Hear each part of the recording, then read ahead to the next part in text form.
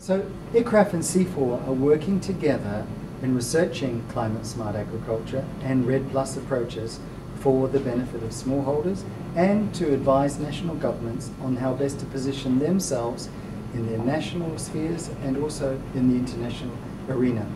When we look at the, the sole REDD purpose, stopping deforestation, it's a great and worthy goal.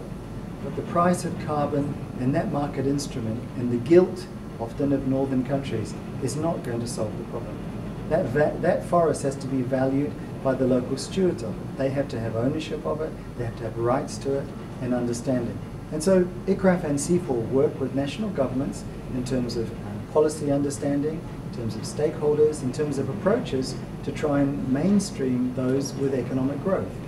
In relation to uh, actual tools and practices on the ground, we're also involved in pilot projects and other schemes to try and understand the differences and the motivations of smallholders to be engaged.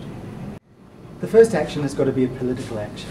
There's got to be awareness and understanding and recognition of the importance of the issue and also how it is going to be mainstreamed into the various sector programs. Without that political support, without that policy under, underpinning, there will not be radical change. We will have isolated successes, but not the fundamental systemic approach and changes that are needed to revitalize and prepare Vietnamese agriculture for the changing future. So the climate smart agriculture approach is about bringing the future to the present, understanding what those changes will be and how small-scale farmers will respond to those.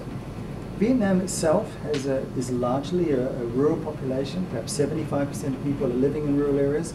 That will change over time, but still a significant portion, proportion of GDP and the population will be derived from those rural landscapes.